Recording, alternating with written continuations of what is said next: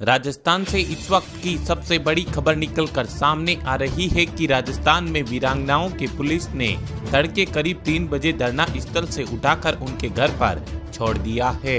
Video में आगे बढ़ने से पहले वीडियो को लाइक, चैनल को सब्सक्राइब ज़रूर कीजिएगा।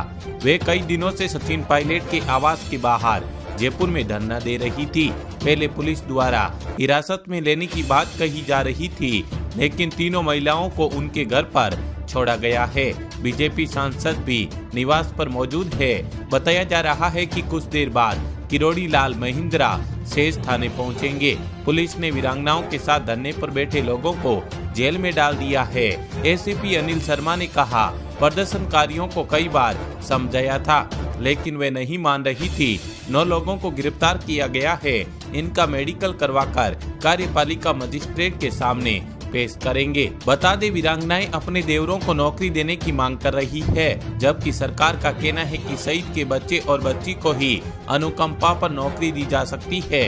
सचिन पायलट के बंगले के बाहर, धरने पर बैठी वीरांगनाओं की दो बड़ी मांगों को अनुचित ठहराते हुए सीएम अशोक गहलोत ने इसे मानने से साफ़ इनकार कर दिया था। सीएम गहलोत ने ट्वीट कर वीरांगना के देवर को सरकारी नौकरी देने और शहीद हेमराज की तीसरी मूर्ति लगाने की मांग को अनुचित बताया है।